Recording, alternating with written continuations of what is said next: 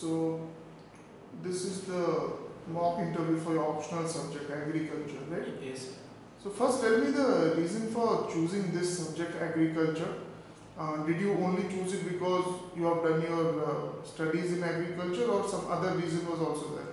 No, sir, I didn't uh, study agriculture in my plus two, and uh, after completion of my plus two means I had taken biology in my plus two, Hmm. and thereafter I got ad- admitted in Aakash, sir, means private institutions for medical preparation, sir. Hmm. Uh, then uh, there, sir, uh, my physics was not that much strong.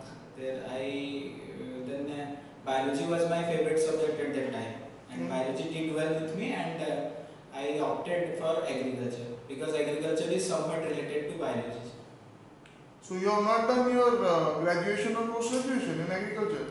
Yes, sir, I have done my graduation in agriculture and post graduation in particular is subject of agronomy, which is under What I'm asking is in UPSC Yes, sir. you have chosen uh, agriculture. Yes, sir. Okay. Yes, sir. That is what I am asking. Why you have chosen agriculture? It is only because you have uh, studied agriculture at postgraduate level, or some other exam-related reasons are also there. For example, if you have analyzed the marks, etc. That is what I wanted to know. No, sir. Graduation. My graduation subject was agriculture, and uh, I thought that it will help me to uh, achieve. Uh, means uh, first of all, sir, two to three reasons are there. First reason is that our graduation subject was agriculture, so uh, for study reason it will help me a lot. And second thing that around 70 to 80 percent people of Odisha and India they are inclined to agriculture. Means somewhat they are related to agriculture. And this agriculture, what I have studied during my graduation course and post graduation course, that will help a lot in my service career, sir. That will help a lot in your service career. Yes, sir. So let us. Uh, what is the you know like now there is agricultural distress in many states of the country. Yes, sir. My question is like as a postgraduate in agriculture, what are your suggestions? How that agrarian crisis, not crisis exactly, the distress, okay, that uh, the income, individual income of farmers, how can we increase it? You know, the government also has a very ambitious plan of doubling their income. Yes, sir. By which year? Uh, by 2022, sir. 2022. Okay. Is it possible? We are already ending 2019 in uh, 2021. Two years, three years. Is it possible to double the income of uh, farmers? Yes, sir. By analyzing the positive aspects, means what Ashok Dalwai, uh, the doubling the farmer, who started doubling the farmers initiative in government of Odisha, uh, government of India, sir, uh, stated that it is possible, sir. Doubling the farmers' income is possible, but uh, we have to follow certain aspects, sir, in agriculture to double the farmers' income. First, uh, we have to solve the distress problem, means what the farmer producing, and uh, the farmer is not getting that much of remunerative money uh, for that excess surplus and the farmer is just uh, not getting that price. And sometimes farmers are failing in uh, selling their products. So many aspects are there like technology advancement reaching the farmers uh, to the field uh, training them incorporating various technological aspects in their field giving them remunerative price. More than MSP and even MS Swaminathan committee has told that 1.5 times means 5 times MSP has been uh, should be incorporated to them.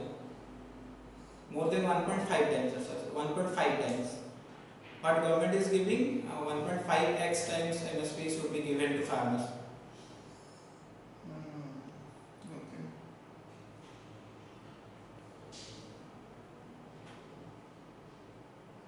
So that they have all. I mean, they have been trying to do it for Yes, some sir. time, but Yes, uh, It will take time, sir. It will take time. Hmm. It will not be done within a month or within a year, sir. It will take time. Hmm. Gradually, many policies have been formed for this. Mhm. and uh, government is uh, implementing organic farming, zero budget natural farming. Pradhan Mantri Kisan Yojana is also there. Krishi Sinchai Yojana is also there. Many policies are being What is implemented. this zero budget natural farming? Uh, so zero budget natural farming is that the uh, farmer is not investing any money uh, starting from the sowing to marketing, sir. means everything is done naturally sir we have to incorporate livestock aspect in this means we are getting cow dung from it and that cow dung is incorporated into the soil and the fertility of the soil is increased and it will gradually improve the productivity of the soil. And it has been started from the Maharashtra. Subhas Palekar is the father of zero budget natural farming and which comes under sir Paramparagat Krishi Abhiyan that is under government of India sir. Okay. So you think that this paramparagat or traditional uh, means of agriculture actually has some potential? It can it deliver results? Uh, sir, it will deliver result not in a quick manner, means within one month or in a certain span of time, sir. It will deliver. The potential will be achieved, or the potential can be achieved, sir. But uh, it will take time, sir. Means what organic farming's principle says, sir. That organic farming's principle says that we cannot produce huge amount of uh, uh, produce within short period of time but it will gradually enhance, enhance the fertility of the soil and the potential means the yield capacity will increase gradually sir What do you mean by multi-story cropping? Multi-storied cropping sir uh, the principle of multi-storied cropping that we use different spatial aspect means uh, one crop is at different height second crop it is different height and the third crop is at different height. So solar radiation interventions are different at different levels. Like examples are coconut cocoa pineapple or black pepper. Black pepper generally trails around the coconut. Cocoa tree is at the medium height and pineapple is the bottom height sir multi-story cropping means different stories. We are using the different labels of different stories. Odisha, they are uh, doing. Yes, sir. It is some part of Koraput. Uh, it is there in the some part of Koraput. They are coffee cultivations. They are getting coffee cultivations. Hmm. They are only they are like experimenting multi-story cropping. And also in OUT experimental farm, they are experimenting like coconut, pineapple, and uh, we can cultivate in place of cocoa like papaya. Medium height plants are also there. Sir. What are the advantages of multi-story cropping? So multi-story cropping, we are using that advantage of using the different levels in story. Top story, we are using coconut cocoa, means sun, uh, solar radiation falls directly on the top story, Hmm. which needs more solar radiation for photosynthesis. Hmm. Medium story, solar radiation is filtered out, little amount of solar radiation comes, that need that much of solar radiation. And the last layer, the last story, which we can cultivate uh, pineapple, it requires shade condition. Hmm. So different labels are being used sir, and advantages for us and solar radiations and photosynthesis are also being uh, uh, uh, gained sir, according to their need. Hmm. Okay. So, tell me something about uh, the advantages and limitations of organic farming. What are the principles of organic farming? Yes What are the advantages and what are the limitations? Uh, sir, uh, four to five principles are there in organic farming. Principle of health, principle of soil, principle of life, principle of interdependency, principle of ecological balance. sir. Means uh, in case of organic farming, we are gradually excluding. We are not excluding at a once of chemical or synthetic fertilizers or synthetic inputs. What we are providing in this contemporary agriculture, sir, like fertilizers, hormones, and other inputs like pesticides and all other things. We are gradually excluding. Means this year we are excluding certain amount 50 kgs of nitrogen then we are next year we are providing 30 kgs of nitrogen. And gradually we are completely excluding the external output. And we are solely depending upon the livestock implements livestock uh, aspects like uh, cow dung uh, and vermicompost is also there in uh, organic farming. Crop residues management means crop residues are also being incorporated in organic farming, sir. Hmm. And disadvantage of organic farming that sir, uh, like huge population uh, expansion is there in India, and for that po- uh, population, we cannot uh, sustain solely on organic farming. We require a huge amount of produce, sir. And gradually it will take. And for Sikkim only, why it is declared as the organic state? Because their population is low, sir, and their requirement requirement of food grain is not that much, and uh, it has gained that status. Hmm. Okay.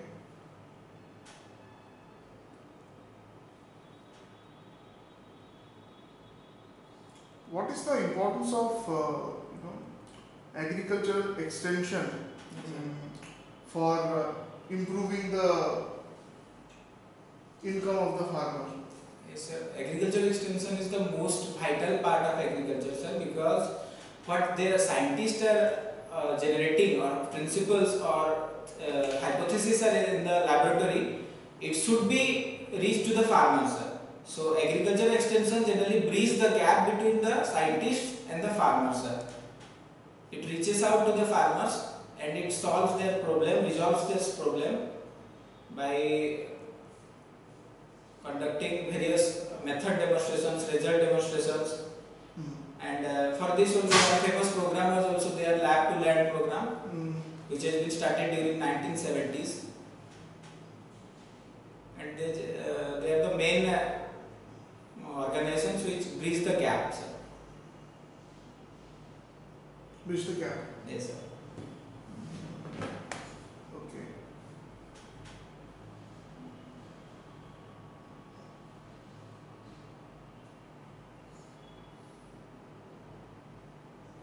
Okay. So, you know about the soil uh, health card scheme? Yes, sir. Tell me something about it and uh, has it been successful? The farmers actually know about this scheme? Uh, I can say, sir, it is little bit successful, not that much, because soil health card, like human health, soil health is also very much important for uh, production, sir. Because gradually, if you apply huge amount of fertilizer or huge amount of pesticides, the soils are being degraded, sir, in later period of time. So their acidity should be maintained, their fertility should be maintained. So, sir, soil health card is a scheme that soil health cards are given per three years, sir. 12 parameters are there acidity, fertility status, N, P, K content, and other parameters are there in soil health card. So, it is very much beneficial for the farmers, and uh, till now, so many amount of means exact quantity I don't remember, sir, how much cards have been distributed, but it's it's an ongoing process, sir, and it will gradually get success in the later period of time. sir. Mm-hmm. Okay. What is the, you know, you know about uh, agricultural exports. Okay, what are Yes, the problems with the agricultural export subsidies? Some uh, developed countries are always, uh, you know, at uh, loggerheads with the developing countries Yes, on this issue. What is the Sir, it is is sir, it is related to World Trade Organization and uh, three to four boxes are there: blue box, green box, amber box, and the agricultural export subsidy comes under the green box. What developing countries are giving, then uh, the problem of giving that uh, subsidy is that even uh, India is producing huge amount of rice. For example, sir, India has a need of buffer stock 10.7 million ton of food grains what the FCI is storing. But what India is producing this year, sir, it is producing 27.3 million tons of rice. Then the surplus is around 17 million tons. It is not required. Then, uh, so what to do with this amount of surplus amount of rice? So India generally exports these rice to foreign countries. So India is providing subsidy to farmers, and farmers are uh, uh, generating. Farmers are eating so much of aid. So it creates imbalances in the foreign markets, sir, world market. So they are like pricking India not to give subsidy to farmers. What uh, option, what have we done in that case? But sir, we cannot we cannot work upon that issue because we have to give subsidy to farmers because without subsidy, sir, the what urea is, what the packet of urea in the market rate is, it will be so high without the subsidy because government is investing 30 to 40 thousand crores of rupees in subsidy of fertilizers. Because without that subsidy, Indian farmers cannot get fertilizer, and uh, without that fertilizer, the productivity also cannot sustain, sir. Okay, you said about urea. So there's a problem with the, uh, you know, the fertilizers that we are using, the Yes, kind of uh, fertilizers that we are using. Yes. What is the average uh, or what is the actual, uh, you know, ratio of uh, these uh, NPK, uh, you know, in uh, the soil? is actually it, Indian farmers are generally using indiscriminate use of fertilizers. What it should be, they are not using. They are using it like uh, they, they have a thought in their process that if I use more urea, I will get more yield. But they are not seeing the futuristic prospect. Means they are damaging their own soil, but they are not knowing. So particular ratios are uh, 4 is to 2 is to 1 is there but they are using it like in Punjab like more than 200 kilograms of urea 300 kg of urea per hectare and uh, more than 200 kg of phosphorus and more than 100 to 200 kg of uh, potassium is they are using. But uh, for they have used during the green revolution and they are now facing the situations in Punjab because the fertility is totally zero in Punjab sir. The fertility has been degraded and uh, it has been converted into the cancer bowl like also in Odisha we are facing that same situations in Bargarh area it is also now called as cancer bowl of Odisha like uh, uh, after Amritsar or Jalandhar area now Bargarh is facing huge amount of crisis of cancer sir. pesticides and fertilizer residues are huge amount in uh, food grain crops indiscriminate use is the main reason sir Mm, What are the alternatives to this? Uh, so only alternative we can aware them that this is the problem. You don't have to use that much amount of urea. And second one is the organic farming, sir. Gradual incorporation of organic farming. And government of Odisha and government of India is pushing hard for this organic farming. And people are now changing. They are also taking organic farming in some tracts of Odisha, sir. Hmm. Okay. So, you told about the different boxes of subsidy Yes, uh, sir. colors. Huh? Can you tell me what what is actually what is amber box, what is green box? So I read it about long past, but the green box is related to agricultural subsidy. Amber box is related to sir. I, I can't recall it, sir. Mm. Okay. So your uh, post graduation is in which subject? Agronomy, particularly agronomy, sir. Agronomy. What it deals with what? It deals with field crops management and uh, uh, field crops growing and its management. What are the major uh, challenges or uh, threats to the field crops? Uh, so major uh, threats to the field crops are like first one is the climate change. Sir. Climate is changing so fast, and crops are not uh, that much resilient to the climate change. Second one is the fertility status of the soil is degrading day by day. Third one is the crop varieties are not that much resistance to insect pests. Means that is biotic stress. Under abiotic stress, climate change is there, and under biotic stress, this insects and pest resistance is there fertility status is there and water water problem water crisis is huge in field crops management. So, what are the various uh, plant regulators that you know? yes sir plant regulators are plant growth regulators means uh, they generally enhance the same division of the process or that helps in the growth of their plant auxins gibberellins cytokinins are plant growth regulators And uh, they are uh, used artificially also. Yes, sir. They are being used for grapes, for seedless grape purpose used, for hybrid rice, gibberellic acid GA3 is used, and for flowering in uh, uh, what is called that is bitter gourd, cholera in flowering uh, uh, purpose that is used also, sir. What are the side effects of uh, genetically modified uh, crops? Uh, genetically modified crops are there. We, we are implementing a certain characteristics or we are injecting a certain characteristic plant. So that plant is showing that much of characteristic, but uh, the result is that nutritional imbal- imbalance uh, can be seen in some parts of genetic uh, modified organisms. Like recently, one variety of mustard is released, Dhara variety, double variety, Dhara variety is there. And uh, genetically modified crops like BT brinjal, BT cotton is also there. So insect resistance means it is resistance to a particular group of insect, but gradually what it is gaining that the other insects are also being the beneficial insects are being also destroyed by this. uh, The endotoxin that is produced from BT that is then it destroys the other beneficial insects also. sir. Okay. But harmful effect on animal, it has been not been proved. It is like in experiments. They are conducting experiment whether it is harmful to animals or not.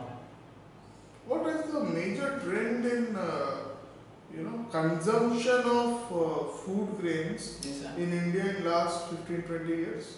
Uh, last 15 20 years consumption is like uh, highest consumption is sir only rice is there then thereafter wheat is there sir and uh, pulses generally rice and pulses demand is very high in terms of eastern india and wheat demand is high in terms of western uh, means uh, northern india that punjab haryana delhi and other part Hmm.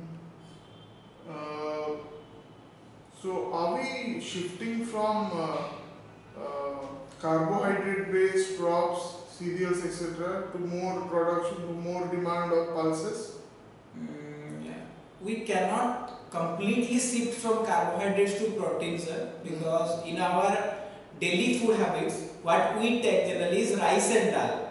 One is deficient in one protein, one amino acid, and other one is deficient in other amino acid. Like rice, methionine is absent, and the second one, uh, valine is absent. So for wholesome proteins, sir, we have to take both rice and dal. Sir. So we cannot completely transform uh, carbohydrate based to protein based. But these days, what government is initiating like millet mission. Government is incorporating millets into the cropping system because today uh, in these uh, years millet is called as elite class people's food, sir, because it has huge amount of proteins and other nutrient substances. Fine.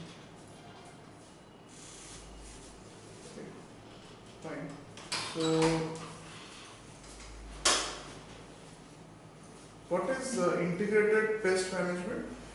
Integrated pest management is that approach in which chemical, biological, and other aspects of controlling insects are being incorporated. Means we have to incorporate chemical control, we have to incorporate mechanical control, physical control, and biological control of insects. So it, it doesn't pollute the environment and it does not degrade the uh, certain characteristics of that crop. Mhm. So, tell me the characteristics of the second green revolution. Uh, second green revolution it has been declared by our honorable prime minister narendra modi after the exhaustion of the uh, first green revolution that soil has been degraded uh, water availability groundwater availability is low So for this reason our honorable prime minister narendra modi declared just 2 3 years back that second green revolution should be there in which whole aspects of agriculture uh, will be there like uh, we have to focus on crop science, crop production, and its allied sectors. Okay. Okay, so that will be the end of the interview. Thank you. Thank you.